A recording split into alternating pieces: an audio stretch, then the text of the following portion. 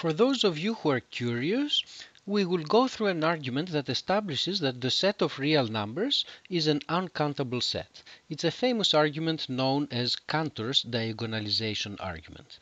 Actually, instead of looking at the set of all real numbers, we will first look at the set of all numbers x that belong to the open unit interval, so numbers between 0 and 1, and such that their decimal expansion involves only 3's and 4's.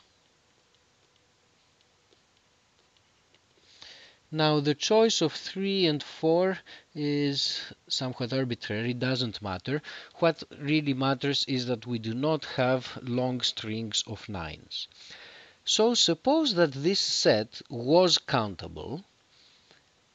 If the set was countable, then that set could be written as equal to a set of this form x1, x2, x3 and so on where each one of these is a real number inside that set. Now suppose that this is the case. Let us take those numbers and write them down in decimal notation.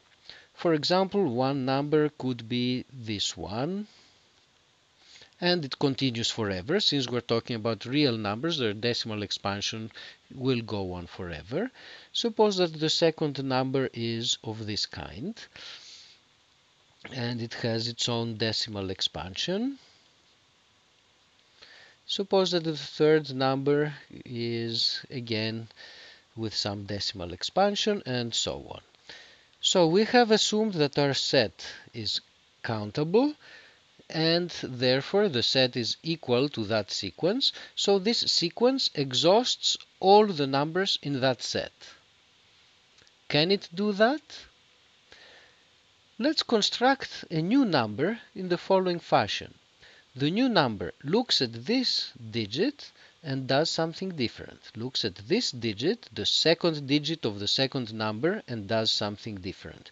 Looks at the third digit of the third number and does something different. And we continue this way. This number that we have constructed here is different from the first number. They differ in the first digit. Is different from the second number. It's different in the second digit. It's different from the third number. It's because it's different in the third digit, and so on. So this is a number, and this number is different from xi for all i.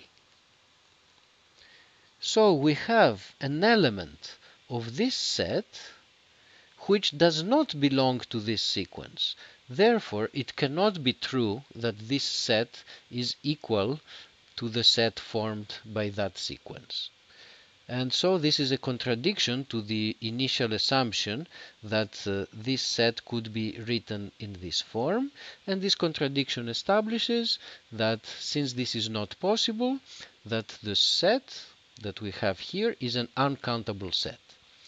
Now, this set is a subset of the set of real numbers. Since this one is uncountable, it is not hard to show that the set of real numbers, which is a bigger set, will also be uncountable. And so this is this particular famous argument. We will not need it or make any arguments of this type in this class, but it's so beautiful that it's worth for everyone to see it once in their lifetime.